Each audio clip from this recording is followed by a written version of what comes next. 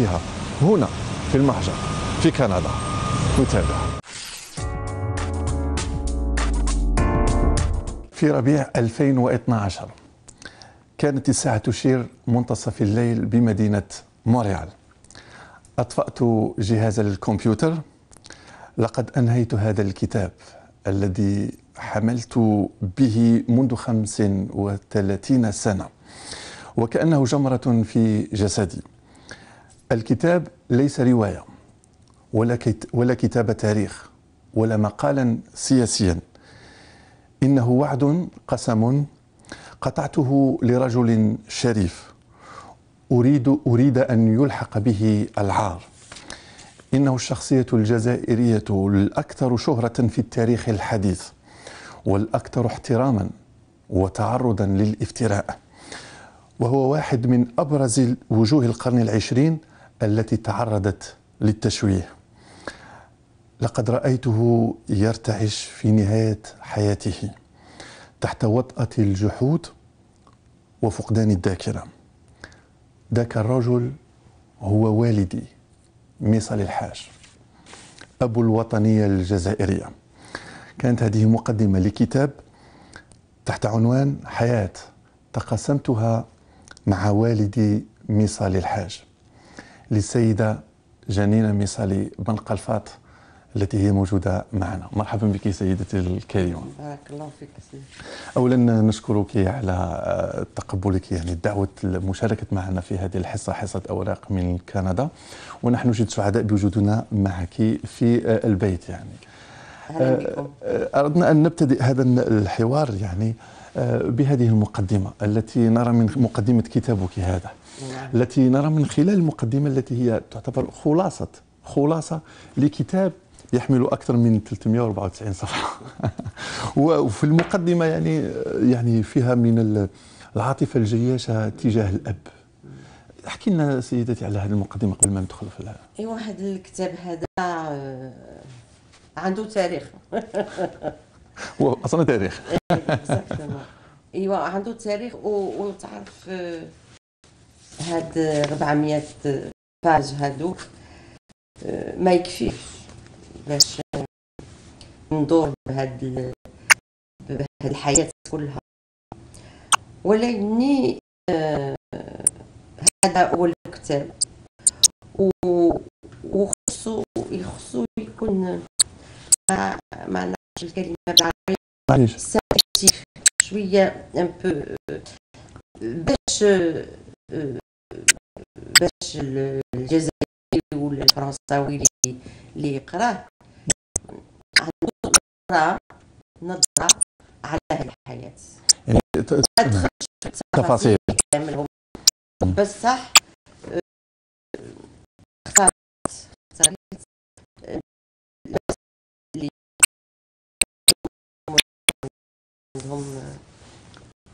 وقفات يعني مهمة في التاريخ حياة في, في الحياة ديالنا وفي التاريخ. نعم. وحياتنا مركبة مركب ولا مركبة؟ نعم مركبة. على التاريخ. بطبيعة الحال. آه، إحنا فربما السؤال اللي يتبادر بذهننا في بداية الأمر هو يعني آه، الزعيم الوطنيه الجزائريه يعني مثال الحال. جوان 1974 نعم. بفرنسا. والكتاب يعني صدر 2000 سنة 2012 يعني المدة تقريبا 38 سنة. يعني ما تشوفيش سيدتي آه، باللي لا، بزاف يعني م- لا. خصنا خ- خصني أنا في ذاك الوقت هذا وقت. وقت اللي آه، الواحد يتهدن آه، والجزائريين يتهدنوا.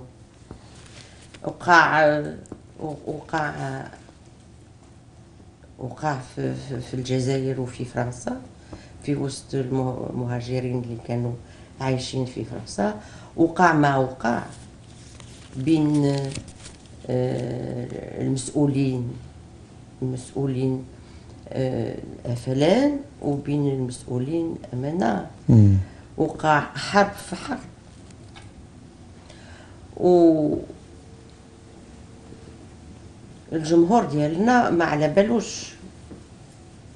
ما على بالوش وما فهمش لماذا هذا الحاج مصالي خرج من السياسة وخرج من التاريخ. شنو الأسباب؟ خرج من التاريخ ولا خرج من ولا التاريخ. أبعد من التاريخ؟ ولا يعني خرجوا من التاريخ؟ التاريخ اللي مكتوب التاريخ الرسمي.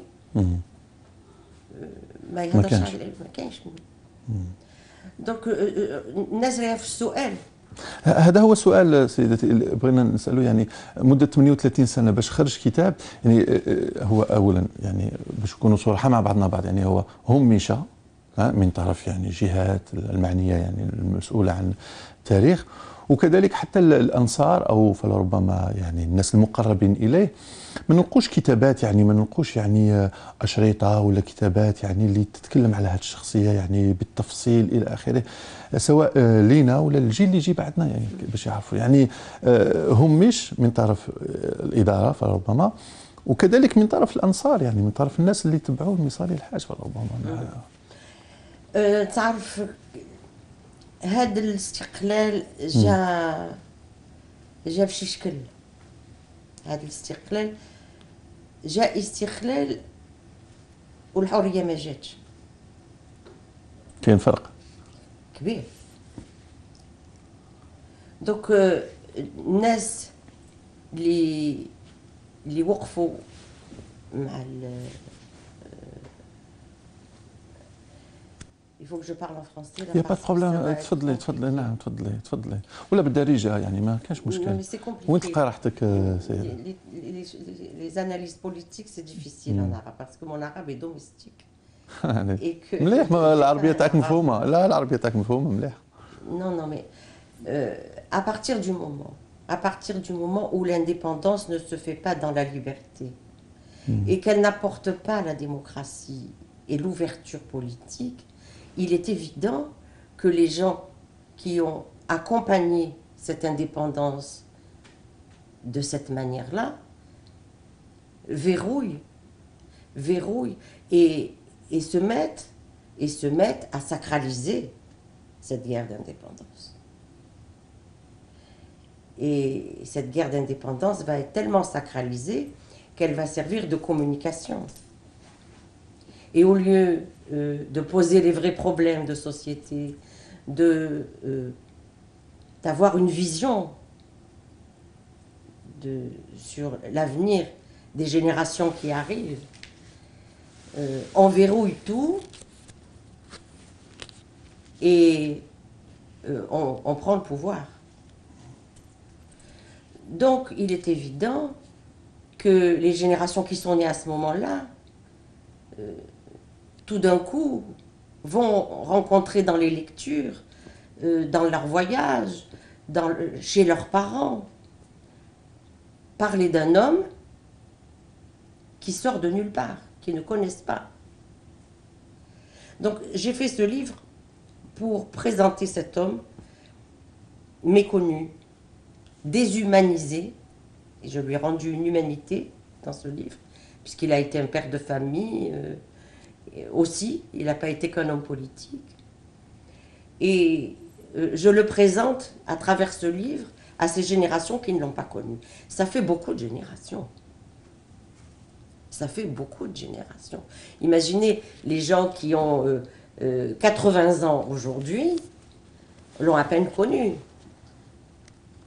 Donc, si il a été euh, aussi controversé, aussi critiqué, exclu de euh, la vie politique par la violence, pas tout seul, lui et ses compagnons, euh, exclu de l'histoire également qui s'est écrite, l'histoire officielle. Donc je me devais de faire un livre intelligible à tous, à ceux qui l'ont connu, les, très anciens qui vont nous quitter, et puis leurs enfants, parce qu'ils ont laissé des enfants, et ceux qui l'ont connu et qui l'ont accompagné encore plus, parce qu'ils ont connu aussi l'exil et les persécutions, et qui sont en manque de reconnaissance. Ils attendent une reconnaissance. Et ça, pour l'instant, il n'y a que l'histoire qui peut la leur donner. Mais c'est urgent. c'est urgent. Alors évidemment, l'histoire, euh, euh, Messali Hadj meurt en 74, en 1974, et voyez le temps qu'il m'a fallu, pas pour écrire ce livre, pour m'investir, pour m'investir personnellement, à retisser des liens, parce qu'on n'écrit pas un livre comme ça. On doit renouer des liens même avec des gens qui ont eu des positions politiques divergentes. Et essayer de renouer des fils qui ont été coupés par la violence. Et essayer d'entamer un dialogue responsable et intelligent. Bien avant, évidemment, de me mettre à planifier un livre. Il y a eu tout un travail, moi-même. J'ai eu une vie familiale, j'ai dû faire face, j'avais des responsabilités de famille. Et, et à côté de tout cela, j'ai tissé des liens avec beaucoup, euh, beaucoup de personnes qui avaient tourné le dos à mes amis. Mais une réconciliation, ça se fait à ce prix-là. Et l'Algérie le mérite de l'avoir, cette couronne. Mais dans la clarté. Dans la clarté. لما كنا نبحث يعني عن تاريخ ميسالي سواء في الكتب أو في الجامعة أو أساتذة يعني أو الطلبة يعني يعني بمجرد ما ذكر اسم ميسالي الحاج آه يقول لك ميسالي الحاج كان معترض على اندلاع الثورة أول نوفمبر 1954 يعني ما كانش موافق على التاريخ أم على يعني توقيت اندلاع الثورة أم على أصلا يعني الثوره مازال يعني نحاربوا سياسيا ومن بعد عاد نشوفوا. وضحي لنا وضحي الجيل يعني اللي ما يعرفش ميصالي هذه النقطة بالذات. صعب ماشي زوج كلمات اللي يكفيو باش ن... بالمختصر يعني نشوفوا. بالمختصر ولكن نقولوا شي حاجة الناس اللي كت اللي كتقول هذا الشيء وكت ما تعرفش التاريخ. والحقيقة اللي كانت في ذاك الوقت هذا. كان الحركة الوطنية في أزمة أزمة سياسية. هذه لو كولت دو لا بيرسوناليتي وهادو لي كونتروفيرس اللي سمعتوها والاوتوريتاريزم والزعيميزم دو ميسالي هاد شي غير خوار خوار. المسألة سياسية. كان الحركة الوطنية ولا حركة عصري مودرن etc. mais tellement moderne que c'est devenu une bureaucratie et qu'ils ont perdu de vue euh, l'essentiel. C'est-à-dire comment arriver maintenant à l'indépendance à ce moment-là. Parce qu'il faut toujours remettre les choses dans leur contexte historique. C'est-à-dire qu'à ce moment-là, c'est quoi? On est obligé. Vous savez, les hommes euh, euh, ne créent pas grand-chose. Ce sont les événements qui créent les hommes. Bon. À ce moment-là, on est dans quoi? On est avec des Fulagas en Tunisie. On venait avec une armée de libération nationale au Maroc. Et nous, on est en conciliabule avec le maire d'Alger. Le maire d'Alger, c'est Jacques Chevalier. Jacques Chevalier va devenir ministre de la Défense dans les gouvernements français qui vont entamer la guerre en Algérie. Il faut le savoir. Et euh, les responsables, la direction du parti, le comité central, qu'on va appeler de façon simple les centralistes, juste pour les déterminer comme cela, étaient dans une autre politique. Donc Messali s'est opposé à cette déviation politique. C'est ça les choses. Messali s'est opposé définitivement à cette politique droitière du comité central et de la direction du parti. Donc, à ce moment-là, à ce moment-là où les choses commençaient à devenir euh, euh, visibles, le système colonial en place, les autorités coloniales ont décidé d'exclure Messali déjà d'Algérie. À partir du moment où on a enlevé, on a enlevé la pièce maîtresse de l'échiquier et qu'on la mettait à l'écart, évidemment, il y avait les possibilités de continuer à s'entendre avec la direction du parti. Parce que les autres partis politiques, à part le MTLD qui était à l'époque, étaient des partis réformistes, issus du Congrès musulman, des modérés, euh, qui étaient tout à fait, euh, euh, euh, tout à fait attirés par le statut de l'Algérie, les réformes, etc., etc. Alors que le seul parti politique qui était, et je parle du Mérite Ulama, de l'UDMAF, etc., etc., malgré qu'ils aient eu fait partie à un moment donné euh, de ce qu'on a appelé les amis du manifeste algérien. Ça, ça a été très court. Ceci étant dit, le seul parti qui a réclamé l'indépendance de l'Algérie, c'est le MTLD, qui est héritier du PPA, qui est héritier euh, lui-même de l'étoile nord-africaine. Donc c'est toujours le même parti. Il a changé de nom parce qu'il a été persécuté, qu'il a été dissous, qu'il a fallu le... etc., etc. Donc on est dans une affaire politique. On n'est pas dans une affaire de personnes comme on a, en- encore aujourd'hui. On arrive à, le lire dans la presse que c'est une affaire de, de- personnes et que c'est l'autoritarisme de Messal. Vous pensez bien l'autoritarisme. Donc toujours est-il, euh, le comité central s'est opposé dans un congrès à Messali en disant que euh, on allait créer le congrès national algérien pour faire l'union avec les réformistes. Alors qu'à ce moment-là, il y a des fellagas en Tunisie.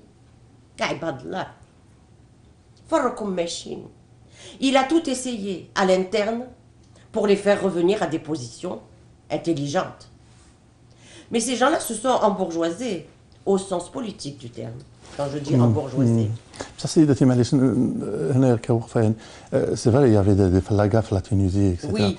مي ثاني ال- ال- ال- الفرنسيين ثاني كانوا يعني كانوا يقوموا بعمليات اجراميه في في الشعب يعني في نفس الوقت Mais bien sûr, إيه، ت- mais ça ne change rien. Mais C'est-à-dire que les partis nationalistes de nos voisins étaient prêts à passer à l'action directe. Mais les nôtres étaient en conciliabule avec les représentants locaux. De la... ils, appliquaient, ils appliquaient les réformes proposées par Jacques Chevalier. Mais c'était pas ça le morceau de Temma. Le morceau de Diana, c'est l'indépendance totale de l'Algérie. Alors à ce moment-là, Messali va, euh, euh, euh, va être ferme sur ses positions. Il est déjà en exil. Donc si vous voulez, on va avoir affaire à une lutte terrible, où Messali sera inflexible. Il exigera un congrès pour trancher. Et ce, congrès, il va l'organiser alors qu'il est tout seul en exil, avec deux, trois compagnons qui vont peut-être l'aider, et moi qui vais me trouver par hasard, à ce moment-là, avec lui, l'avoir rejoint dans l'exil, puisque je viens de perdre ma mère. Donc, il va organiser dans ces conditions-là un congrès à Ornu, en Belgique, qui va déc- décider de passer à l'action directe. Qui va décider que les groupes en place se transformer en maquisards qui vont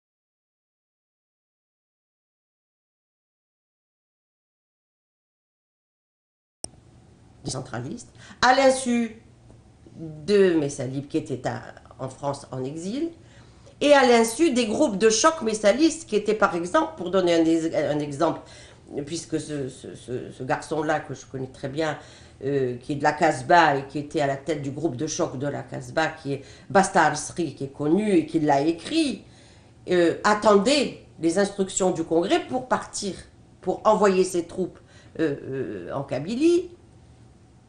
Eh bien, quand les responsables qui ont allumé cette allumette du 1er novembre, ils ne l'ont pas informé non plus. Ils l'ont informé en lui disant on va faire des choses et on viendra te voir pour nous soutenir par derrière. Et lui, il attendait toujours. Donc, si vous voulez, il y a eu une affaire de calendrier. On a doublé, on a doublé à l'arrivée, on a coiffé au poteau ce qui avait été décidé à Ornu, c'est-à-dire de lancer tous les groupes de choc qui étaient organisés au maquis. Et Messali attendait pour ce faire. Il y avait une date qui était prévue. On attendait la fin de la session de l'ONU.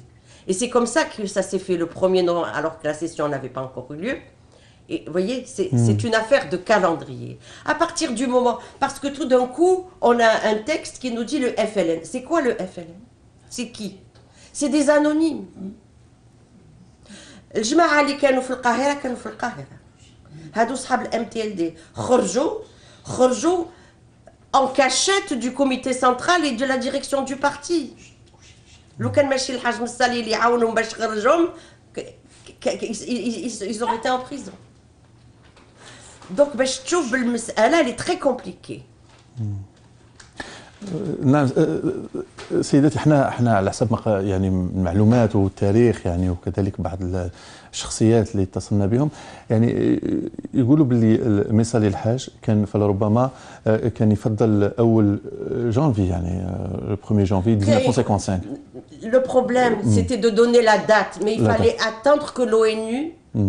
Euh, que la session de l'ONU soit terminée. C'était ça le, la deadline. وكاين اللي يقول باللي أه، كاين اللي استشروه في في لادات في التاريخ يعني ورفض.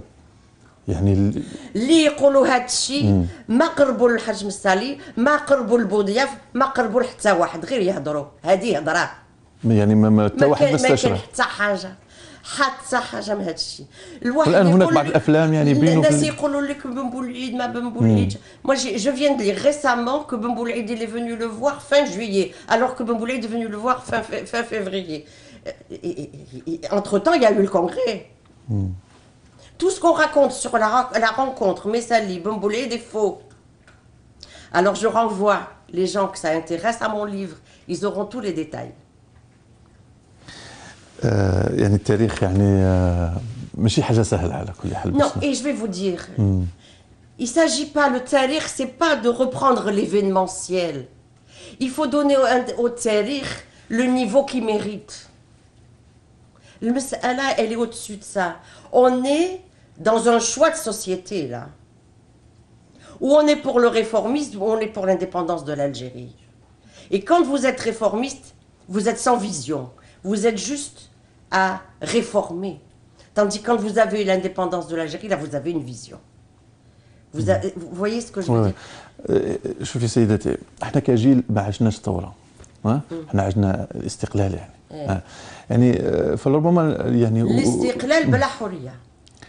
الاستقلال بلا حرية كما تسميها. آه، يعني آه، مازال يعني نحسوا بكم مثلا لما راك تحدثي معنا الآن نحسوا بك يعني هناك حرقة يعني مازال كاين حاجة. هكا يعني. رغم أن 60 عام هذه 60 عام اللي اندلعت الثورة وهذه 52 عام اللي استقلينا يعني يعني ما تشوفيش باللي حان الوقت يعني باش نحاولوا نصفوا الجو بعضنا بعض لفائدة الجيل اللي راه جاي يعني حتى حاجة يعني باش تصفى حتى حاجة ما تصفى في القلوب ولا في العقل. بلا ما نرجعوا للتاريخ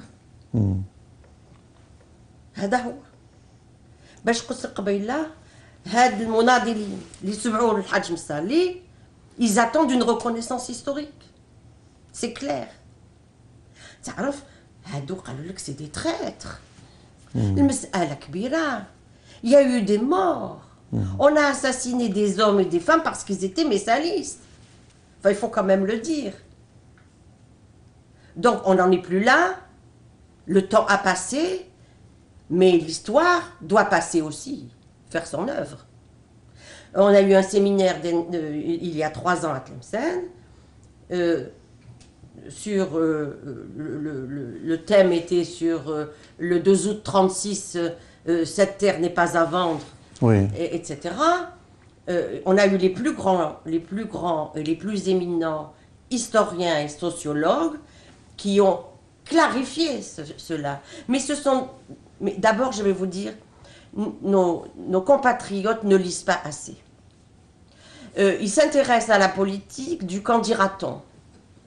On s'intéresse فلان قال والاخر جاوبوه وقال وما قال المساله ما ريهاش تماك ما ريهاش بسيطه المساله سياسه حاجه كبيره والحاج مستالي راجل سياسي كيفاش تشوفي آه، سيدتي الحاج ميسالي رجل سياسي ما موجودش في المقرر الدراسي تاع في الجزائر التلاميذ ça va avec le reste ça va avec le reste Euh, تعرف دوك الناس جاو قال لك جبت لكم l'indépendance et puis ils ont tout verrouillé et puis bon on en est là évidemment ça a progressé évidemment euh, on peut dire que depuis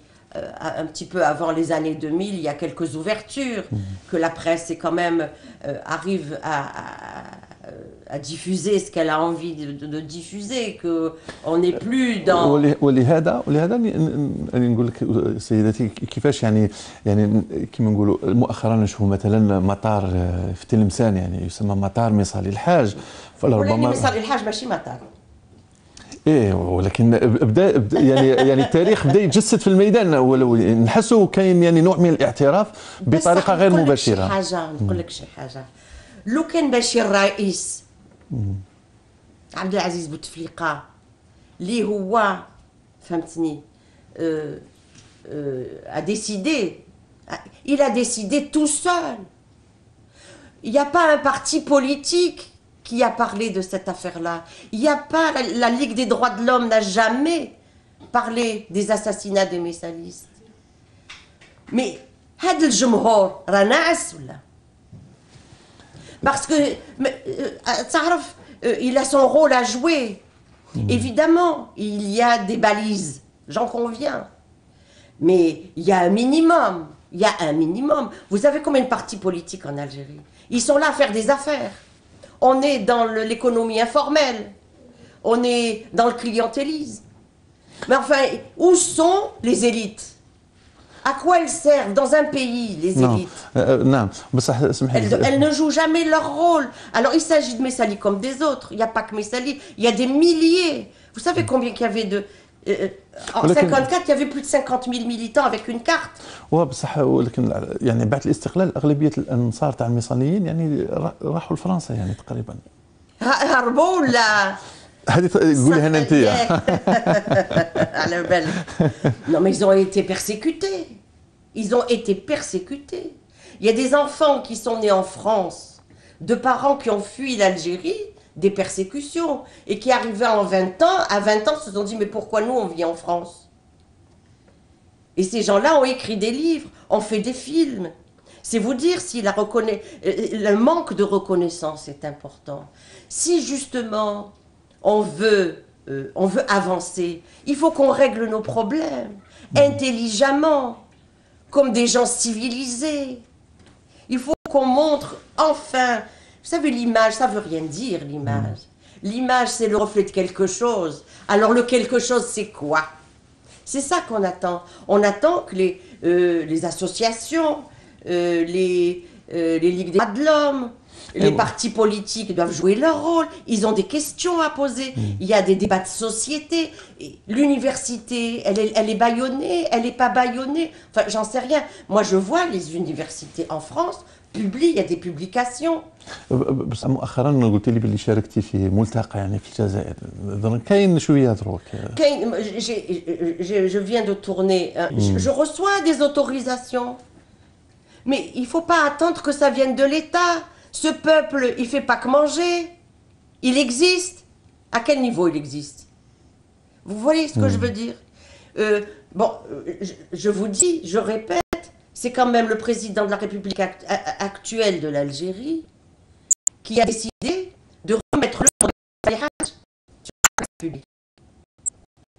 Les élites algériennes ont parlé avant. Les élites algériennes non plus. Il y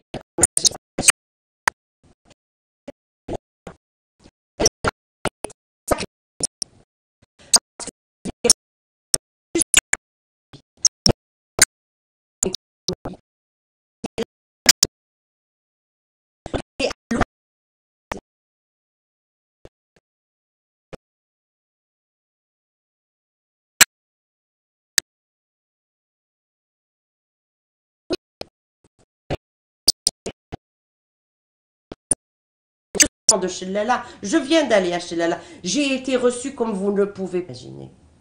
L'équipe de tournage avec moi était stupéfaite.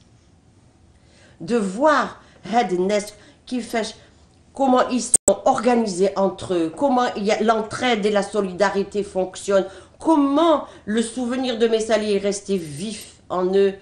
Mais c'est assez extraordinaire. Et ces gens-là, on va jusque-là. C'est quand même formidable, ça.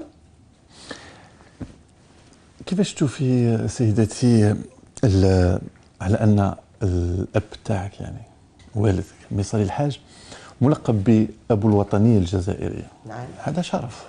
يعني هذا شرف. ابو الوطنية الجزائرية متفق عليها. كل يعني الحمد لله. بعد تقدمنا. يعني وهذا من القديم يعني مش حاجة جديدة. أيوه. ضف إلى ذلك السيدة إيميلي بيسكان الأم إيه، تاعك. الوالدة. الوالدة. مشهود لها على أنها هي أول من صنعت العلم الوطني. العلم الوطني. احكي لنا كيفاش لأن ال- ال- ال- الوالده تاعك ما نسمعوهاش بزاف. نسمعوا أيوة، بزاف ميصالي طبيعة الحال. نعم احكي لنا شوية كي ما على نسمعوش على مصلي الحاج ما نسمعوش لا على ميصالي ميصالي الحاج بدينا نسمعوا عليه بصح إيه، الوالده اللي صنعت العلم إيه، الوطني احكي لنا شوية على femmes, les femmes sont toujours aux oubliettes. Euh, même ici en. Occident, même ici en Occident, elles sont obligées de se battre tous les jours pour exister. Donc, imaginez dans un pays en voie de développement comme le nôtre, avec euh, tout ce que nous trimballons comme euh, archaïsme derrière nous, euh, et avec le niveau de l'école tel qu'il est, il y, a, y a un énorme travail à faire d'éducation aussi des femmes. Et Émilie Buscan, c'est ma mère. Émilie Buscan, c'est une Française. Elle est née en Lorraine. Elle est issue d'une famille d'anarcho-syndicalistes du, on va dire, tout début, du tout début du XXe siècle, même de la fin euh, euh, du, 19e. Et dans un pays minier, un pays euh, où, comme on disait autrefois, était, qui était parmi les berceaux de la classe ouvrière française. Donc elle a été élevée dans ce contexte-là. Elle a dû quitter sa Lorraine natale pour monter à Paris, parce que tout le monde monte à Paris pour faire sa vie. Et euh, à Paris, elle a rencontré un jeune Tlemcenien qui lui aussi était monté à Paris pour faire sa vie. Et leur vie, évidemment, euh, elle, a, elle a une histoire.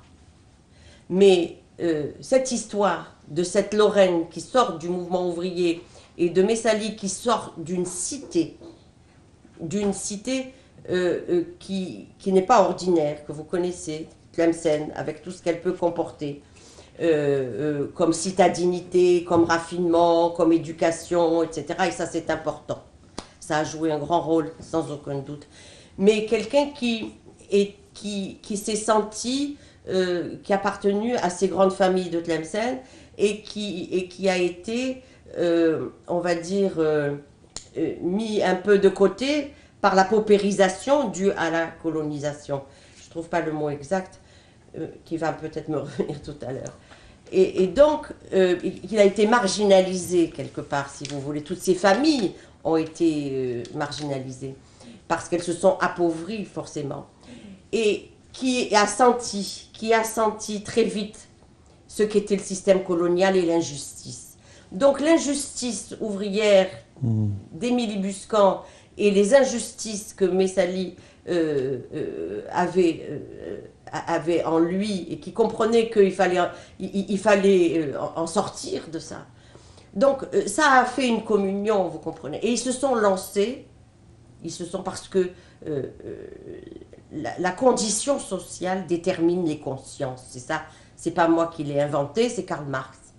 Donc vous voyez, et ça s'applique tous les jours et ça s'appliquera encore demain parce que ce sont des analyses incontournables. Donc c'est ça. Et ils, se sont engagés politiquement. Mais pour s'engager, eux qui étaient jeunes, euh, à peine instruits comme il fallait, à peine, ben, ils se sont donné les outils pour ce faire. Donc ça leur a demandé un grand travail, euh, de se familiariser euh, avec ce qu'était la politique, de comprendre que ça se faisait politiquement et par l'éducation, et d'entraîner avec eux toute cette émigration qui, elle aussi, vivait l'injustice dans cette émigration. Ils vivaient l'injustice. Ils n'étaient pas des citoyens français. Ils étaient des sujets. Ils étaient euh, même leur police. Ils avaient une police à part. Donc c'était un sous-prolétariat. N'étaient même pas des prolétaires, puisqu'ils n'avaient pas les droits des prolétaires, c'était un sous-prolétariat. Donc il y avait beaucoup de choses à faire. Ils ont fait l'éducation de cette émigration, et, et c'est comme ça que l'étoile nord-africaine est venue. Enfin, je vous parle très librement. Ouais, là. je vois. Euh, je, je ne fais pas de l'analyse. hein. Et, et- et donc, euh, évidemment, quand euh, on se donne un tel projet, c'est un grand projet. C'est une utopie. Mais quand les utopies se réalisent, c'est extraordinaire. Parce que ça dépasse la fiction. Et pour se donner, pour se donner une réalité, il faut un parti politique. Il faut des militants. Il faut, pour avoir un pays, il faut un drapeau. Ce parti politique, il lui faut un statut. Il faut qu'il fonctionne démocratiquement. Regardez l'avance qu'avaient ces militants en 1926-27 jusqu'aux années 30. Il faut la démocratie dans le parti. Il faut un drapeau pour le pays. Et tout ça, eh ben, petit à petit, le drapeau est sorti comme ça pour une assemblée générale en 1934 à la rue Daguerre, à Paris, dans le 14e arrondissement. Voilà. Alors, dans leur chambre de bonne, ils ont, fabriqué ce drapeau. Et ma mère, c'était elle, parce qu'elle avait, euh, elle avait un sens technique plus développé que mon père. Elle l'a pas fait toute, seule, elle l'a fait avec tous les militants. Et, quand, elle est devenue l'alter ego de Messali. Parce que Messali, en 34, il est en prison. Après, il s'en va en exil en Suisse. Et elle était capable de le remplacer au pied levé, dans son absence. Et elle avait toutes les styles. Vous savez, entre elle et les militants, il n'y avait aucune différence. C'était pas la femme du chef. Il n'était pas le chef, il était le secrétaire général. Et il était élu. Voilà. Donc, c'est comme ça que ça fonctionne, le parti politique. Dites une de... Mais c'est ça la réalité. Mais cette réalité qui était dans les années 20 et les années 30, euh, elle a continué. Elle a continué dans le PPA, elle a continué... Euh, euh, après, il y a eu la Deuxième Guerre mondiale, mm. qui a été une grande parenthèse terrible. Et puis, il y a eu le à la suite, il y a eu le MTLD. Et puis après le MTLD, ben, il y a le MNA dont on ne parle jamais. Ah, on ne parle jamais. C'est le parti maudit. Euh, on ne parle jamais du MNA. Le MNA, c'est la suite du MTLD. Alors le FLN, il a qu'à se débrouiller pour expliquer pourquoi il est venu et comment il est venu. Moi, j'ai quelques idées et je les ai couchées dans ce livre. Alors maintenant, aux Algériens de voir qu'est-ce que le FLN et pourquoi le FLN Parce que tout est dans le questionnement. Tout ce que je vous ai dit mmh. là, j'ai essayé de répondre à vos questions. Euh, Maintenant, les questions, c'est aux mmh. Algériens de se les poser, mais de bien se les poser. Pourquoi on a un parti politique nationaliste, indépendantiste, depuis 1926, et puis que tout d'un coup, on a quelque chose qui arrive, là, on ne sait pas, d'où ça vient, d'où ça sort, qui a fait. لا هي هي اللي نعرفوها على الافعلان جبهه التحرير هي جات في هذاك الوقت يعني آه، لمت كاع ال- الأحزاب اللي كانوا في هذاك الوقت ما لمت الاختلافات. وباش يتفاهموا على الاستقلال الثوره حتى حزب ما لمت حتى حزب جمعية العلماء n'a jamais collaboré. Euh, Abbas Farhad جابوه à un moment donné quand il a fallu trouver un président au GPRA. Non, alors là, هي مناضلين ça تاع n'a الاحزاب jamais, ça n'a jamais fonctionné. Ça n'a jamais. Et à l'intérieur du FLN, c'est quelque chose, vous savez, euh, qui s'est transformé euh, euh, de prédateur en prédateur et de dominateur en dominateur. Il n'y a pas eu autre. On n'a pas fait de politique pendant tout ce temps-là. Voilà. الوالد مصالي الحاج نعم لما استقلينا في 62 نعم ويعني شكن ماذا شكن يقول لك على الجزائر؟ شكن يحكي لك على الجزائر. رانا في الاستقلال حياته حياته والجزائر والجزائر وحياته ما كانش فرق. مم. قولي لنا هكا بعض المواقف هذه الكلمة ديال الجزائر مم. ما كاينش خطرة في النهار اللي ما نهضرش على الجزائر ولا على الحركة الوطنية ولا هذه ملي ملي عندنا راس و... آه. وكلمة. ملي كان حي. حياته. ملي حنا صغار. ملي دائما دائما وتعرف في 62 آه، خرج بالبي بي ا نيميرو 2 خرج حزب بي بي ا نيميرو لو ام ان ا كان كلانديستان دونك آه، تبدل ببي بي ا نيميرو 2 قال لك زعما هاد البي بي ا qui a été un parti héroïque, Inch'Allah va essayer de rassembler tous les Algériens et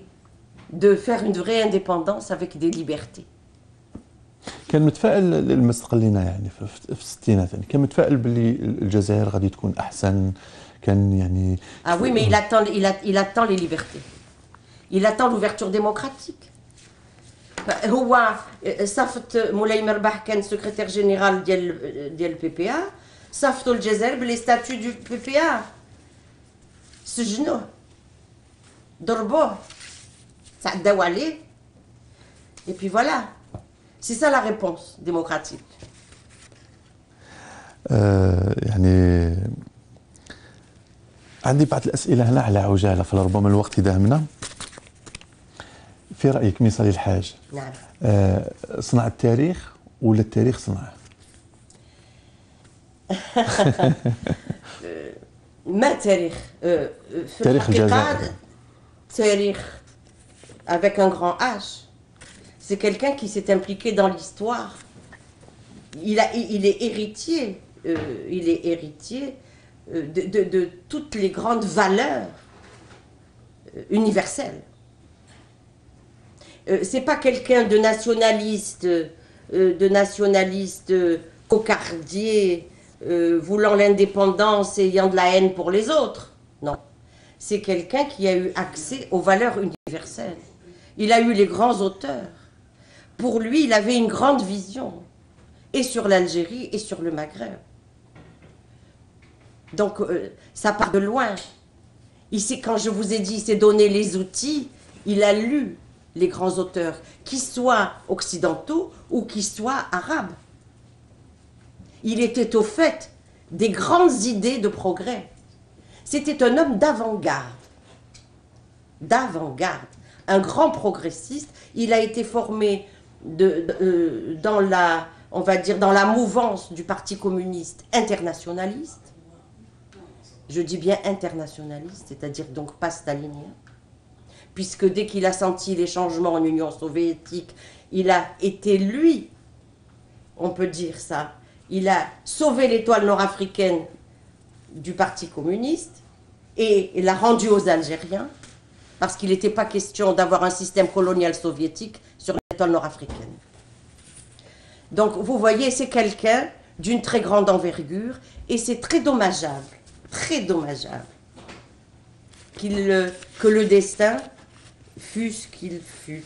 Parce que pour l'Algérie, ça aurait été مناش باقي بعض الاسئله آه، لما نبحثوا على ميصاي الحاج دائما نلقوه يعني سوريان يعني آه،. بشوش ومعروف بالهندام.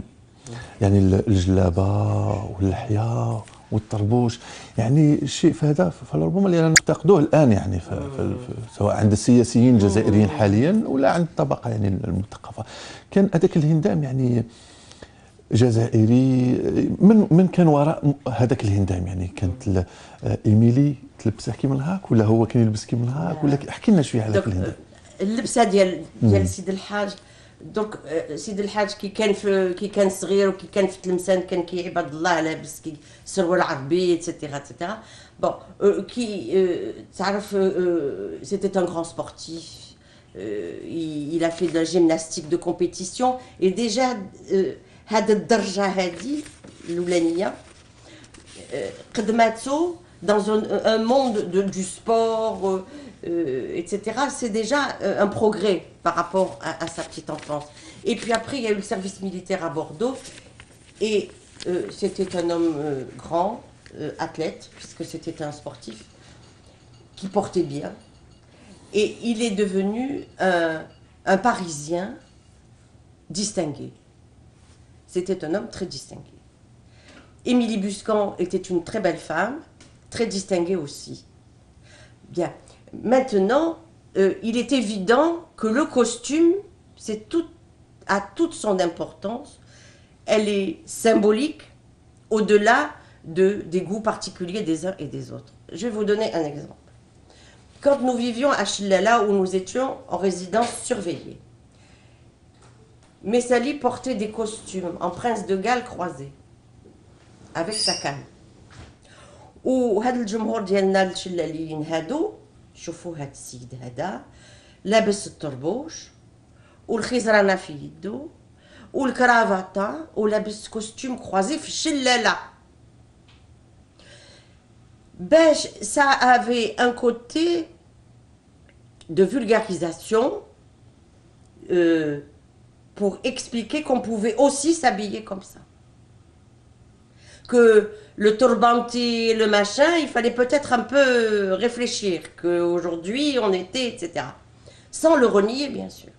Mais c'était euh, pas un hasard. C'était pas un hasard. Maintenant, même Bad, quand il se retrouvait en exil, il s'est retrouvé en exil dans plusieurs villes de France. ديك الساعة لبس القندورة والجلابة والبرنوس والبلاغي والطربوش علاش لماذا دونك في هذا الوقت هذا دونك يفو توجور remettre dans le contexte historique في ذاك الوقت هذا كانوا يقولوا non non l'Algérie peut pas être indépendante c'est trois départements français euh, et les Algériens défendaient la personnalité algérienne. Quand Messali sortait en ville habillé comme ça, il démontrait aux Niortais, par exemple, ou aux gens d'Angoulême ou d'ailleurs, ou à Belle-Île-en-Mer, que l'Algérie, c'était une identité. Que l'islam, c'était une civilisation, non seulement une religion, mais une civilisation. Ça, euh, c'est une façon de, euh, d'expliquer, d'expliquer aux gens. Et tout de suite, c'est comme si vous aviez un drapeau sur vous.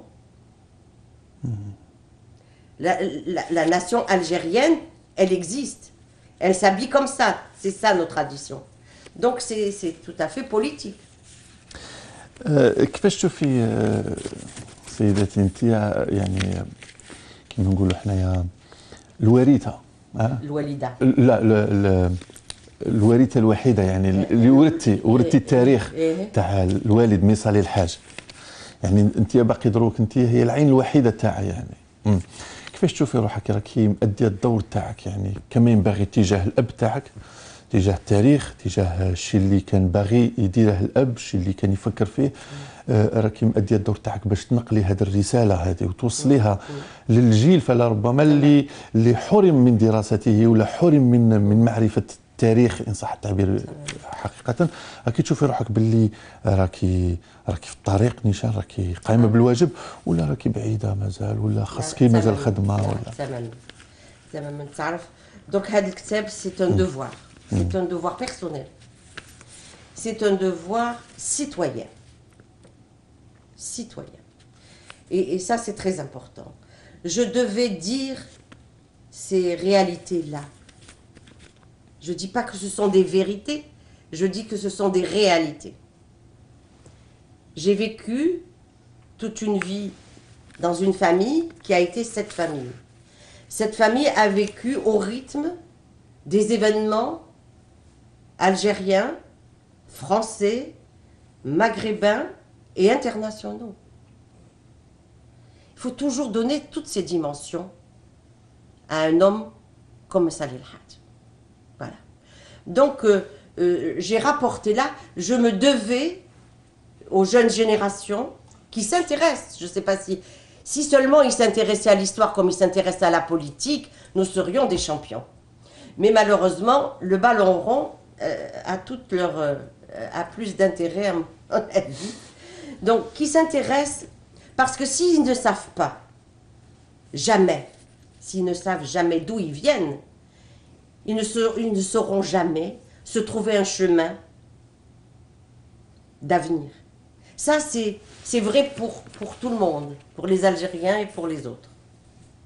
لو كان آه، ميصالي الحاج يعني آه، راه عايش الان مثلا أنا- آه، يكون فخور بالجزائر آه، 2014 يعني يكون فرحان بالجزائر لا. و- 2014 لا علاش لا ما يكونش فرحان علاش باسكو جبت لي كرة القدم ولا تأهلنا كرة القدم آه حتى هو كان يلعب كرة القدم Non, mais euh, la, la distraction, c'est la distraction.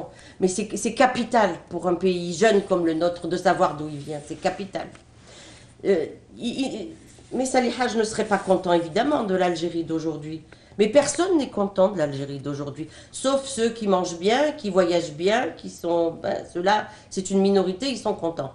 Maintenant, au-delà au-delà de, de, de, euh, de ces problèmes-là, euh, il est évident qu'il il aurait préféré, il aurait préféré euh, autre chose. Il aurait préféré d'abord un leadership plus important de l'Algérie.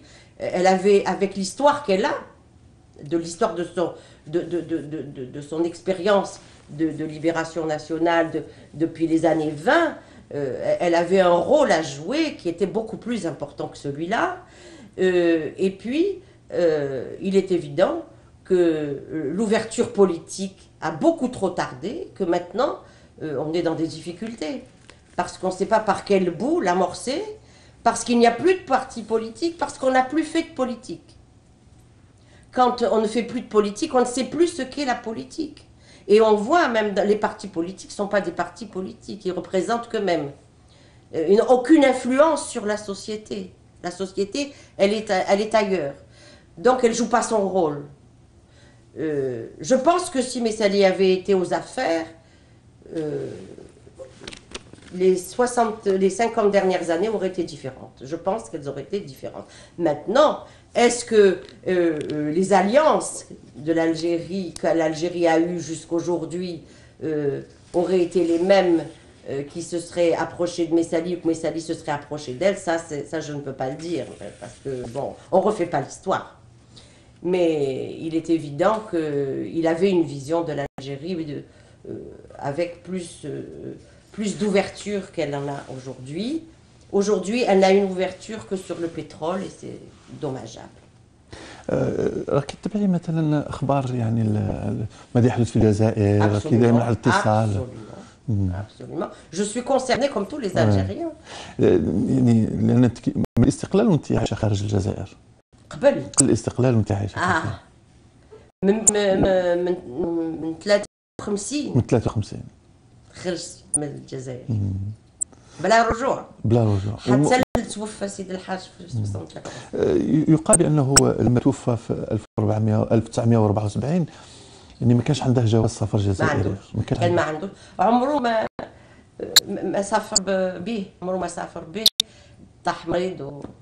وتوفى و... وعمره ما سافر تقدروا ت- تقدر تحكي لنا شوية اللحظات الأخيرة أو توفى؟ تعرف هاد هاد الشيء ديال ديال الباسبور داخل في, في, في الشيء Mm. L'interdiction, l'interdiction, le, le rejet, l'exclusion, c'est ça. Je, je, je...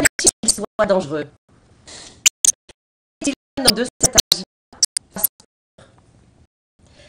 pasteur, colonial,